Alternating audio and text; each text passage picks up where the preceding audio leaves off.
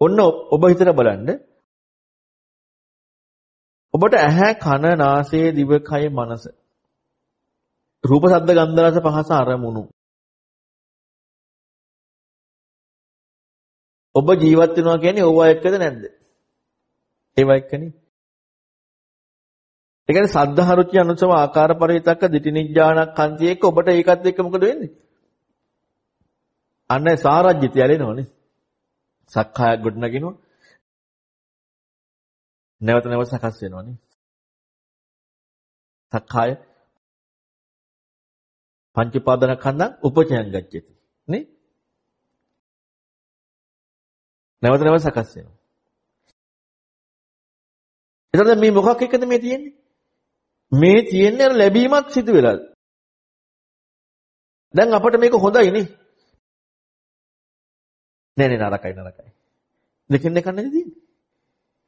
රූප ශබ්ද ගන්ධ රස පහස අරමුණු ලැබිච්ච එක හොඳයිද? හොඳයිනේ. හොඳ නිසා ක්‍රියා කරන්නේ. නෑ නෑ නෑ නරකයි නරකයි. ඒක හොඳ නෑ. නරක වුණ බව මොකද්ද? අරමුණක් නෙමෙයිද? ඒත් අරමුණ. කොහෙන් ගියත් මොකක්ද තියෙන්නේ? తත්‍ර తත්‍රාභිනන්දිනී.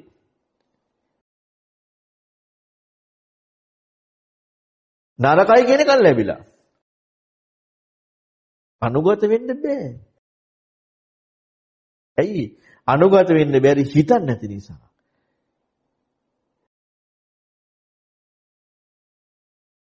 අනුගත වෙන්න බැරි හිතන්නේ නැති නිසා.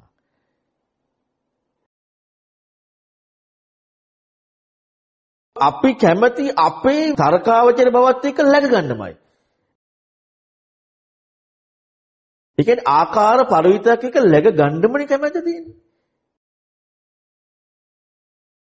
දිටි නිඥානකන්තයක läග ගන්නමයි කැමැත්ත තියෙන්නේ. කල්යාණ මිත්‍රයෙකුට අනුගත වෙන්න කැමැත්තම නැහැ. ඇයි නැත්තේ? හිතන ගතිය නැහැ. කොහෙන් ගියත් අපේ හිතන ක්‍රමයෙන් läග ගන්න කැමති. දැන් මේ රූප ශබ්ද ගන්ධ රස පහස අරමුණු. මෙන්න මේවා ලැබුණාම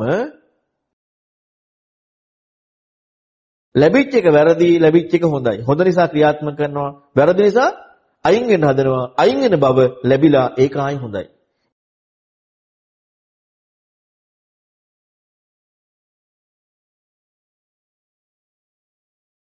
ඒකයි විභවේන භවස්ස නිස්සරණ මහන්තු. විභවයෙන් භවයේ විභවයෙන් භවයේ නිස්සරණයක් හොයනවා. භවස් තස්මා භවස් මාතු දාමී සියල්ලම් භවෙමයි කියලා බුදුරණන් සදාරන.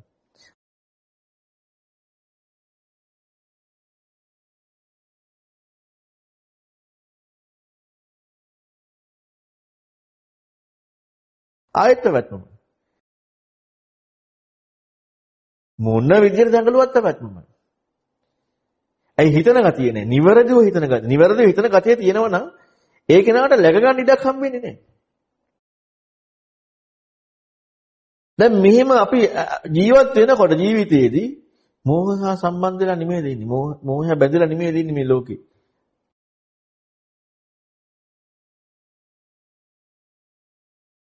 බැඳලා නේද? දැන් මොකද වෙන්නේ?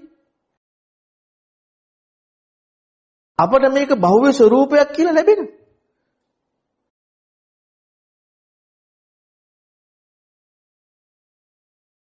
නැද්ද? භෞවේ ස්වરૂපයන් නිසා තමයි ඒක අනුව ක්‍රියාත්මක කරන්නේ. භෞවේ ස්වરૂපයන් නිසාම තමයි ඒකෙන් අයින් වෙන්නට ඕනේ නැත්තේ. අපි හිතනවා අයින් වෙන්නට ඕනේ නැත් භෞවේ ස්වરૂපයන් නිසා නෙමෙයි කියලා බොරු නිසා කියලා. නේද? බොරු නිසා නෙමෙයි. බහුවේ ස්වરૂපයක් නිසාමයි අයින් වෙන්නේ.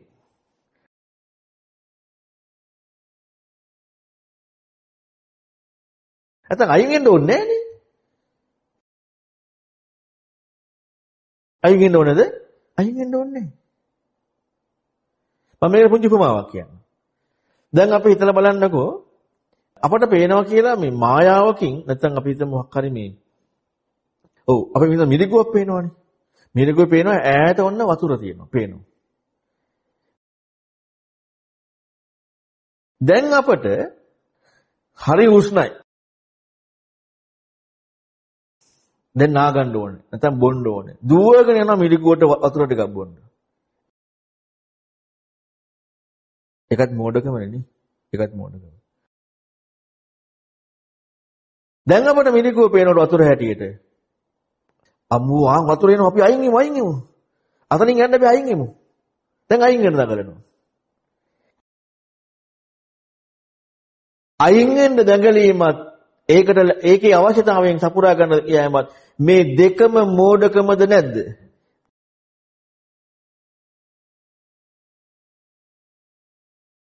දෙකම මෝඩකමනේ. මිරිගුවක් ඉදිරියේ පේන තියෙද්දී පිපහසාවෙන් මහන්සියෙන් ඉද්දී ඒකෙන් වතුර බොන්න ඒකෙන් නාන්න යන එකයි. ඒ වගේම පිපහසාව නැතුව තියෙද්දී වතුර බහදාවක් නිසා එතන ඒ ඒ එතන යන්න බැරි නිසා එතනින් අයින් වෙන්න යන එකයි. මේ දෙකම මෝඩකමේ ලක්ෂණය. මෙන්න මේ වගේ මොකද වෙන්නේ? රූප, ශබ්ද, ගන්ධ, රස, පහස අරමුණු වෙනකොට අපේ ජීවිතේ මොකද වෙන්නේ? ඒක එක ක්‍රියාත්මක ක්‍රියාත්මක කරන්නේ නැද්ද ඔබ? හොඳට හිතලා බලන්න. ක්‍රියාත්මක කරන්නේ නැද්ද කියලා? ක්‍රියාත්මක කරනවා. නැත්තම් ඒක වැරදි කියලා අයින් ඉන්න හදනවා. ඔය දෙකෙන් එකක් කරනවාද නැද්ද? ඔය දෙකෙන් එකක් කරනවා. අන්න මොකද්ද මේ තියෙන්නේ? මේ තමයි පැවැත්ම සහ නොපැවැත්මකින් läග ගැනීම. ඔලියන්ති ඒකේ අතිදාවන්ති ඒකේ අන්න läග ගන්න එකයි අයින් වෙන එකයි. පිහිටන එකයි ඉක්මවන එකයි. ඔන්න ඔය ටිකයි කරන්නේ. මොකක්ද මේ සිදු වුනේ කියලා හොයන්නේ නේ.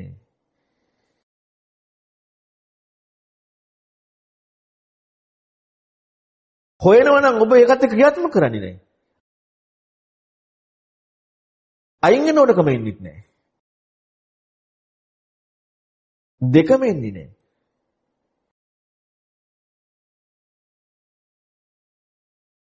මේ දෙකෙන් මොකක් හරි එකක් එක්ක ඔබ ඉන්නවා. එක්ක ඔබ ඉන්නවා මේකෙන් අයින් වෙනවා නේ මේකේ ඇත්ත හොයන්න කියලා ඉන්න කියන එකෙන් හරි ඉන්නවා. කරන්නේ නැහැ. කරන්නේ නැහැ ඒකේ හරි ඉන්නවා.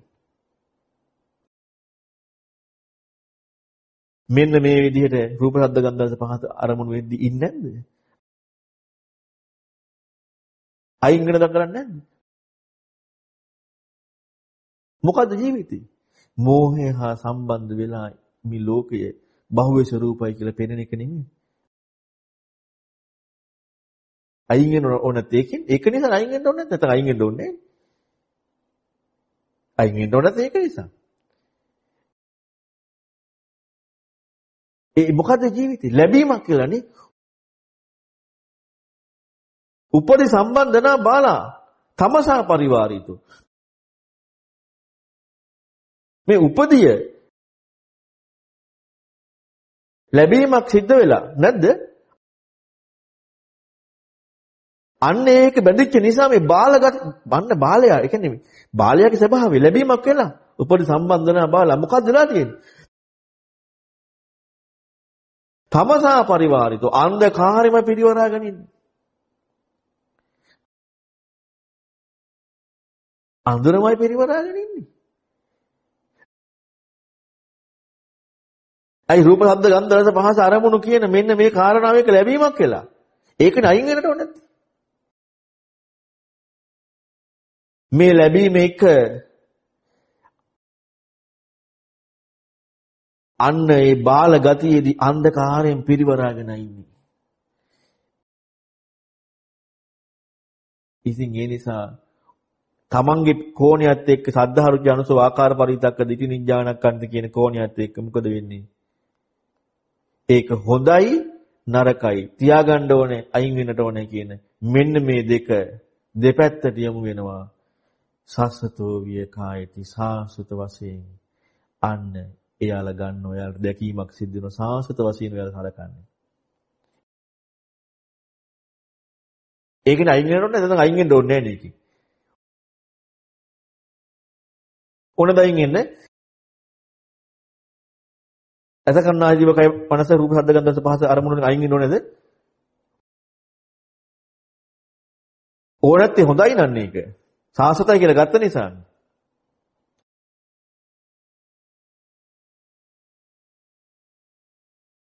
නැත්නම් අයින් වෙන්න ඕනේ නැහැ. පස්සතුරත් කිංජන. දකින් දකින්නාට දකින්නකොට අන්න කිසිවක් නැහැ. කිසිවක් නැති බව ලැබුණා නෙමෙයි.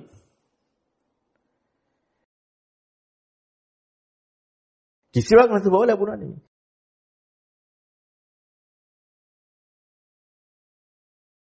දැන් බලන්න මේ විචක්ෂණශීලී බව ජීවිතයේ යෙදෙනකොට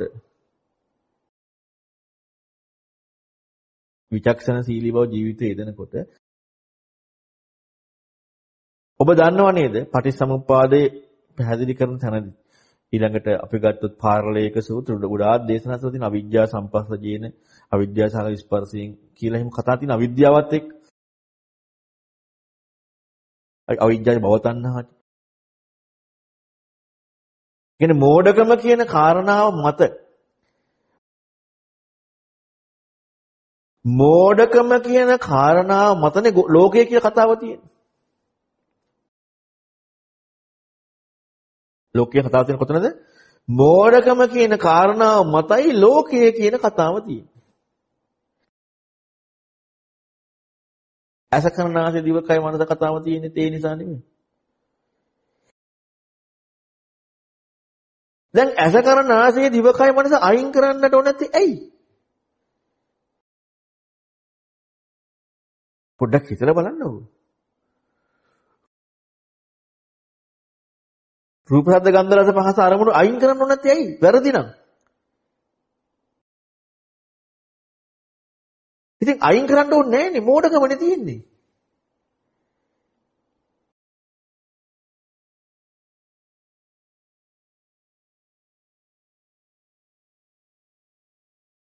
ඇයි පොඩි දෙයක් අපිට හිතන්න තියෙන්නේ නේ?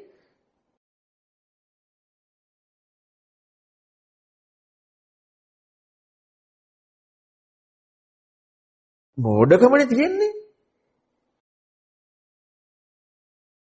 ඉතින් මෝඩකමක් එක්ක තියෙන කාරණාව අයින් කරන්න ඕනද?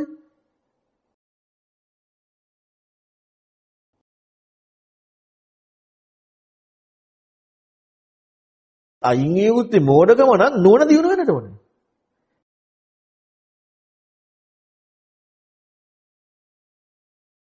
එහෙම නෙමෙයි වියුත්තේ එහෙමයි වියුත්තේ.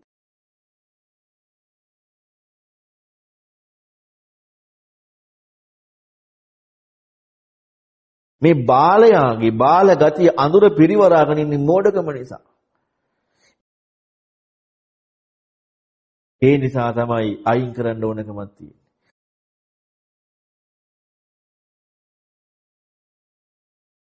මෝඩකම දුරු වීම කියන කාරණාව සිදු වෙනකොට අයින් කිරීම කියන කාරණාවක් එදෙන්නේ නැහැ.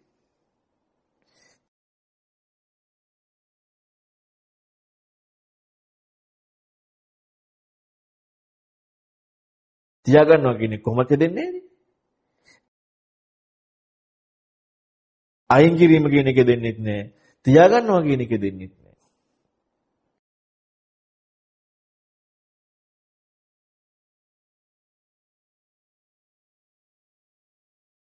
එතකොට දැන් මේ අපි ඇස කරන ආශේ දිවකයි මනස එක්ක මේ ලෝකේ අපිට මේ ගෝචරත්වයක් රූපසද්ද ගන්ධරස පහස අරමුණුත් එක්ක භවයේ ස්වરૂපයක් කියලා ලැබෙන නිසා අයින් කරන්න ඕන තියාගන්නට ඕනේ. ඔය දෙක එකක් අපි යනවා.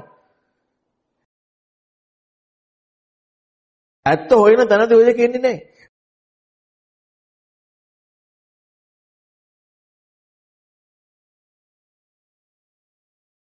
බාල ගතියත් එක්ක තමයි මේ ලැබීමක් එක්ක බැඳිලා මේ අන්ධකාරේ පිරිවරාගෙන ඉන්නේ.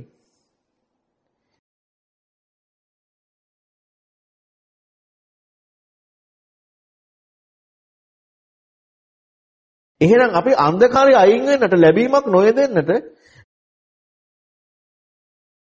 නොයදෙන බවක් හර ලැබෙන්නේ නැති වෙන්නට මොකක් වෙන්නට ඕනද? අඳුර අයින් වෙන හිතන්නට ඕනේ.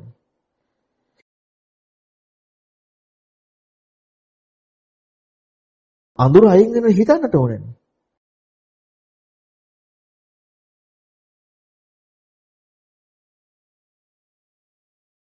එතකොට සසතෝවිය කායති වෙන්නේ නැහැ.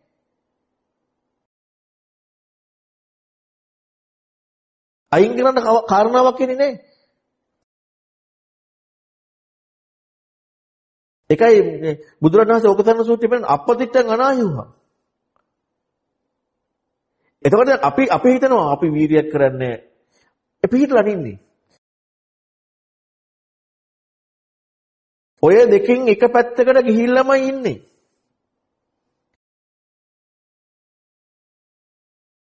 මේකට එකම එක විසඳුමයි තියෙන්නේ. ඒ තමයි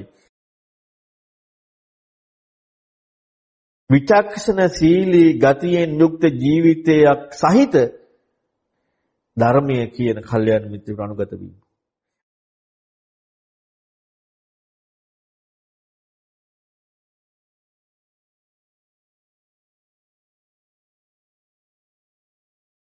විචක්ෂණ සීලී ගතියෙන් යුක්ත ජීවිතයක් සහිත ධර්මය කියන කල්යාණ මිත්‍රව අනුගත වීම.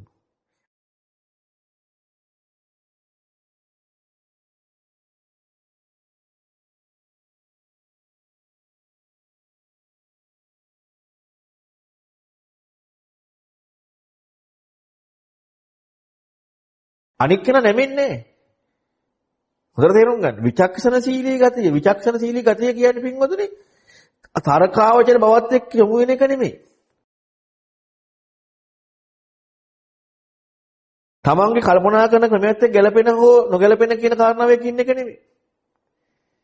මේ බුදුරන් වහන්සේ නමක් මේ ලෝකේ පහළ වෙලා පෙන්වන අසාමාන්‍ය ධර්මයේ පින්වතුනි ඔහේ මේ සාමාන්‍ය කෙනෙක් නිකන් ඔහේ අර මනක් කල්පිත විදිහට කල්පනා කරන එකක් නෙමෙයි. සත්‍යවාදී චින්තනයක් තියෙන අයටයි. අසාමාන්‍ය අයටයි.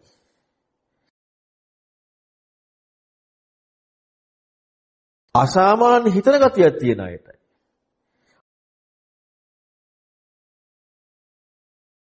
අසාමාන්‍ය හිතන අසාමාන්‍ය ගුණවත් බව.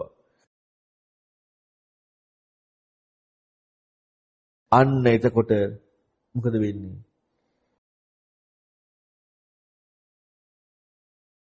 ප්‍රඥාව උදා වෙන තැනදී විචක්ෂණශීලී බවත් එක්ක නැමීමක් සිදු වෙනකොට කල්යාණ මිත්‍රයාට දහමත් එක්ක ලැබීමක් බව නැතුව නැමීමක් සිද්ධ වෙනකොට මොකද වෙන්නේ?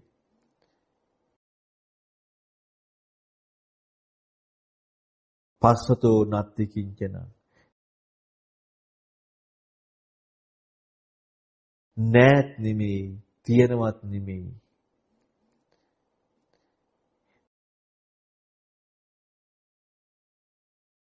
දැකීමක් සිද්ධ වෙනවා.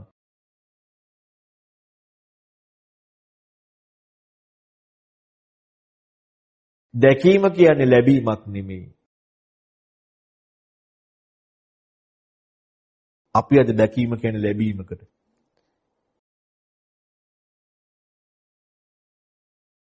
ඔගුනේ අර පේන්නේ.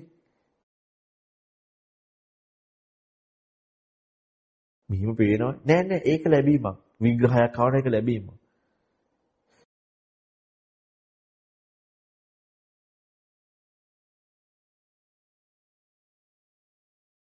රූප, ශබ්ද, ගන්ධ, රස, පහස අරමුණු කියන මේ කිසිම කාරණාවක් එක ලැබීමක් වෙන්න බෑ.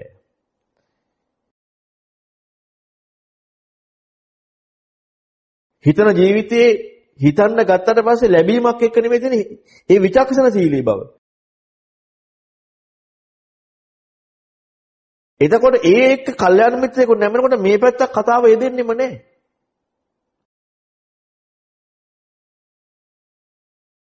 දැන් මොකද වෙන්නේ? මේ ප්‍රඥාවේ කෘත්‍යයෙන් දකින්නේ.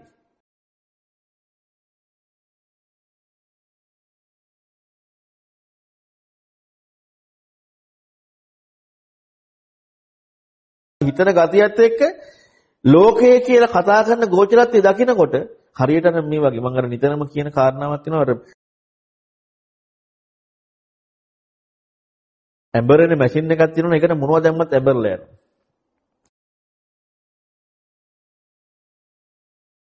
එනෝ විතරයි පේන්නේ. ඇඹරිලා කුඩු වෙලා යන්නේ. ආයේ කතාව නැහැ. ඔය යකඩ අබරණෙහි මැෂින් තියෙන්නේ. ඒක ක්‍රියාත්මක වෙවි තියෙනකොට ඒකට මොනවාරි වැටෙනවා. වැටෙන බවක් විතරයි තියෙන්නේ. ඊළඟට නැති කරන්න හෝ තියනවාද කියලා කතාව නැහැ.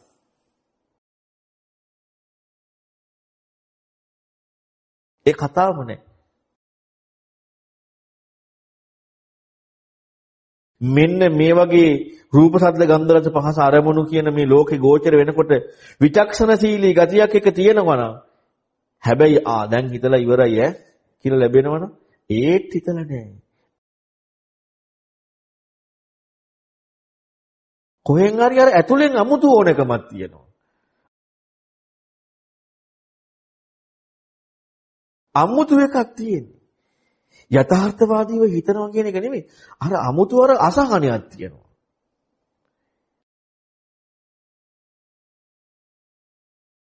ලබා ගන්න මොකද්ද අමුතු අසහනයක්.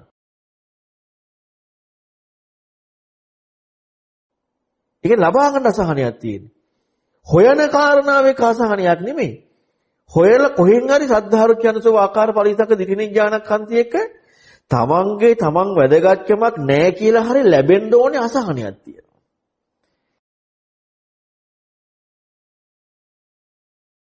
ඇත්ත හොයන්න ඕනේ බවක් එක්ක නෙමෙයි තියෙන්නේ. හොඳට හිතලා බලන්නකෝ.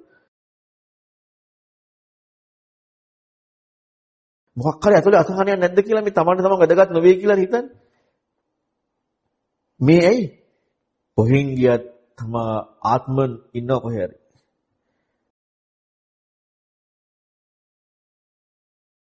තමා ඉන්නව කොහේ හරි. ඔබ හිතලා බලන්න ඔබ හිතන ජීවිතයේදී ඔබට ඔබ ඔබට ඔබගේ කරුණක් එක වැදගත්කමක් ඔබට එන්නේ නැද්ද කියලා බලන්න හිතලා කොහෙන් හරි.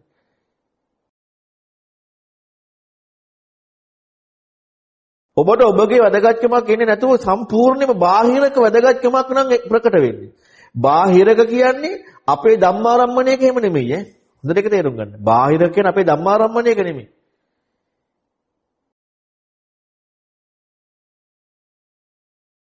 ධම්මාරම්මණයක් ඒත් අපේමයි. බාහිර කියන එක සැබෑවටම බාහිර. සැබෑවටම බාහිර කියනකොට මේ පැත්තේ කතාවක් ඉදිලා නැහැ.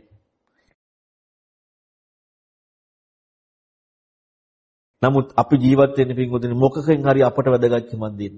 මොකනේ වැඩි? ඉතින් කොහෙද සක්කාදිට්ඨිය ප්‍රහාණය කරන්නේ? කොහෙද බුදුරණවහන්සේගේ දහමකට කිට්ටු වෙන්නේ?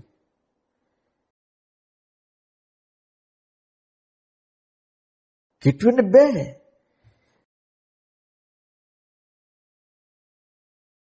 සත්‍යවාදී නැති නිසා සක්කාය දිට්ඨියක් ප්‍රහාණය කරන දහමකට කිට්ටු වෙන්නවත් බෑ.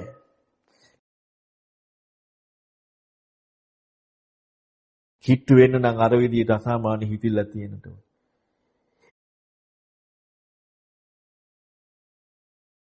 ඒ නිසා අපි අපේ ජීවිතේ සම්පූර්ණයෙන් ගත කරනකොට Tamanට වැදගත්කමක් නොයදෙන විදිහේ ජීවිතයක් අපි ගත කරන්නවත් අඩුම හුරු වෙන්නට ඕනේ පින්වත්.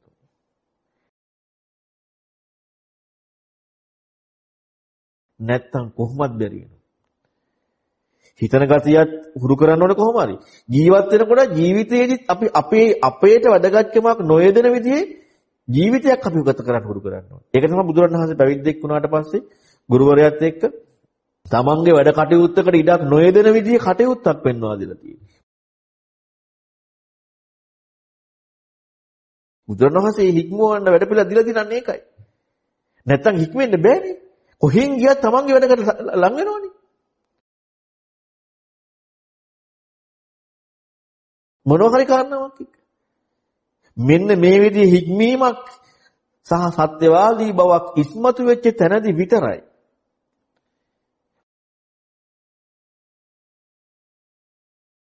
අර බුදුරන් වහන්සේගේ ධර්මය අහන්න සුදුසු.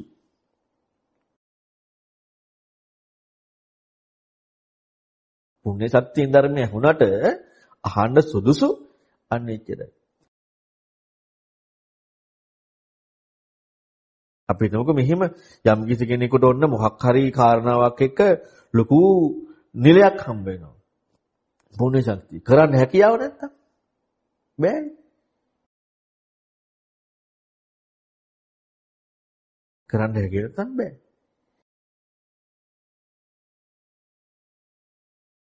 කරන්න හැකියාව තිබ්බත් පින නැත්තම් ඒත් බෑ.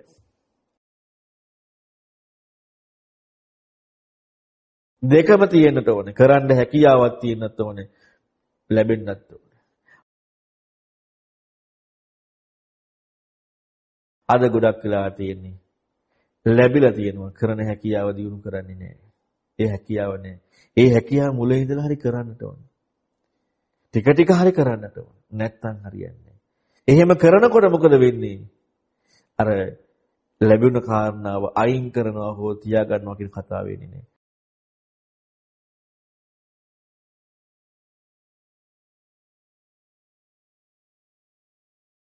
ඔබට මම මේ කියපු ටික ඔබ හරියට අහගෙන හිටියනම්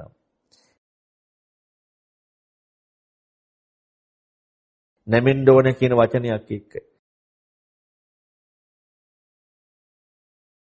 ඔබ ජීවිතේ තනි කරම හිතන්න පටන් ගන්නවා. ඒ කියන්නේ අඩුම තරමේ අඩුම තරමේ කල්යාණ මිත්‍රයෙකුට නැමෙන්න ඕන කියන කාරණාවක් පිළිබඳව පොඩ්ඩක් හරි සිය මාත්‍රයක් හරි ඔබට එනවනම් අඩුම තරමේ මේ කියපු කාරණා එක හරි ඔබ ජීවිතය ගැන හිතනවා.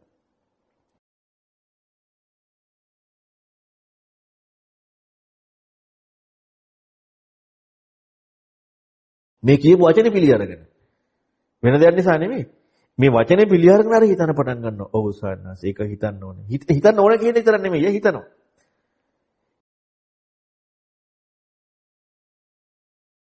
ජීවිතය ගැන හිතනවා.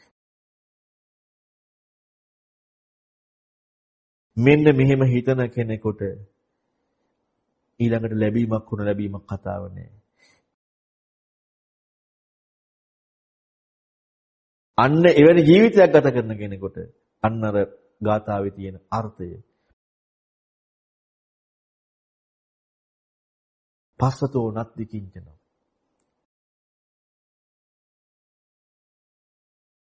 දකින්නාට කිසිවක් නැහැ. නත්ති කිංචන කිසිවක් නැහැ.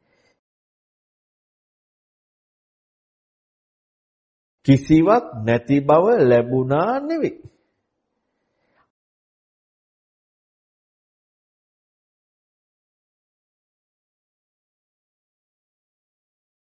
අපට මොනවා හරි ලැබීමේ කටයුත්තක් සේයා මාත්‍රයක් යෙදිලා නම් ඒ සද්ධාරුචි අනුසව ආකාර පරිවිතක දිචිනිඥානක් අන්ති එක්ක අපට නිර්වචනයක් තියෙනවා අපි ඒකයි නෑ කියන්නේ.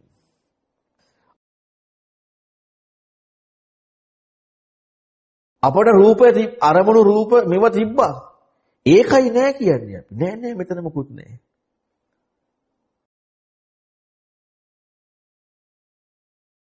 ඒක නෙමෙයි නෑ කියන්නේ. නත්තිකින්ච කියන්නේ නෑ කියන ලැබුණා නෙමෙයි. දැන් මෙතන කෝප්පේ තිබුණා. තියනවා. දැන් ඔන්න කැඩෙනවා. කෝප්පේ නෑ. දැන් නෑ. ඒකට නෙමෙයි. දැන් මෙතන ඔන්න මම කියලා දෙනවා මොකක් හරි මෙතන කම්පියුටරයක් නෑ. අපි හිතුව කම්පියුටර් ගැන දන්න කෙනෙක් නෙමෙයි. අපිට මොන නොදන්න මොකක් හරි කාරණාවක්. අන්න ඒ කාරණාව මෙතන නෑ කියනම කියනවා. ඒ කරුණ මෙතන නෑ කියලා කියනවා. එතකොට ඒ කාරණාව මෙතන නෑ කියලා කියන එක ආය ලැබෙනවද? ඒ කාරණාව මෙතන නෑ කියලා කියන එක ආය ලැබෙන්නේ නෑ. නැත්තම් ඒ නෑ කියන කාරණාව ලැබීමක් වෙන්නේ නෑ. හොඳට ඒක තේරුම් ගන්න.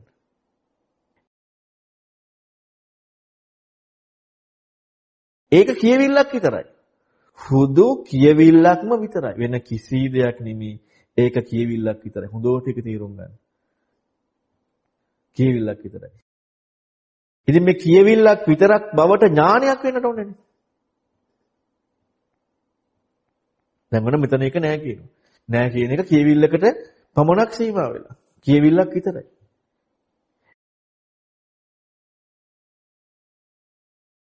එතකොට කියවිල්ලක් විතරක් කියන කාරණාව එක යෙදිලා ඉන්නකොට läග ගන්න සහ අයින් කරන්න කියන කාරණා එක්ක යන්න ඉඩක් නැහැ.